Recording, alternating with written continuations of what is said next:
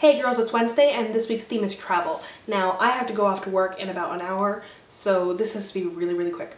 And I probably won't actually get to editing it until after work and I don't get off of work until 11.30 p.m. So I'm sorry if this is late. So this week's theme is travel.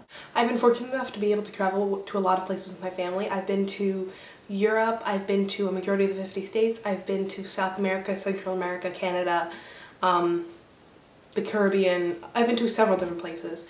Um, I've been to over 10 countries and about 20 or 30 of the 50 states.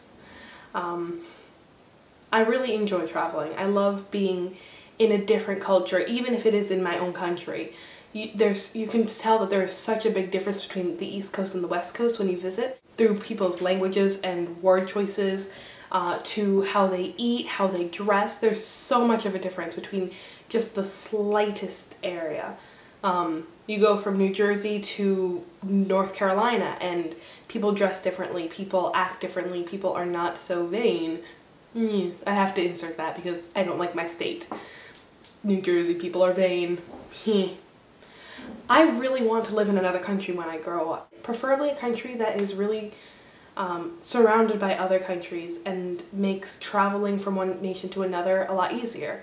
I would love to live in the UK, and by living in the UK, I could take a tube, I could take the train, I could take a quick flight to a whole bunch of different countries, such as France and Norway, um, France, Norway, Russia, Germany, all these different places that otherwise in living in the States are so far away.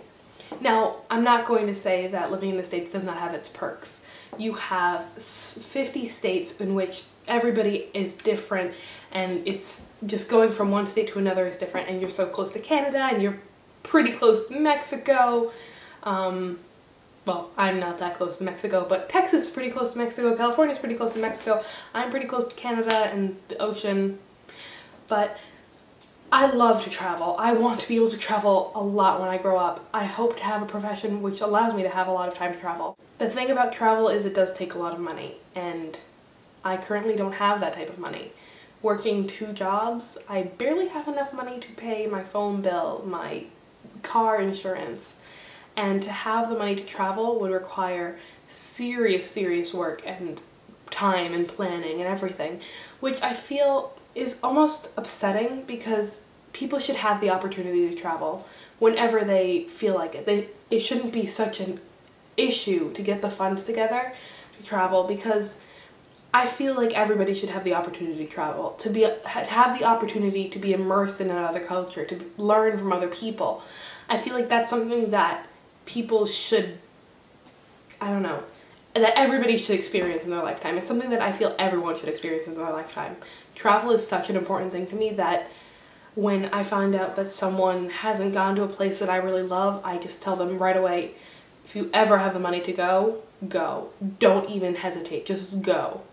However, I do understand that not everybody has the funds. So if I were living on my own, I wouldn't have the funds. And if I weren't so blessed to be in a family that is I guess, financially well off to be able to travel, I wouldn't have the experiences I have, and I probably wouldn't be so passionate about traveling because I wouldn't have had the experiences of visiting other countries. Um, in a way, I guess I'm spoiled. Um, I've been spoiled by going to different places. Um, places that other people sometimes don't even get to dream of going to.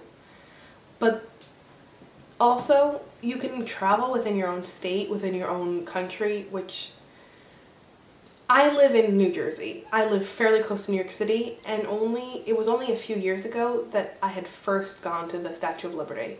My mother, only a few years ago, had gone to the Statue of Liberty, and she lived in New York when she was by the age of 12 up until she married my father in 1980.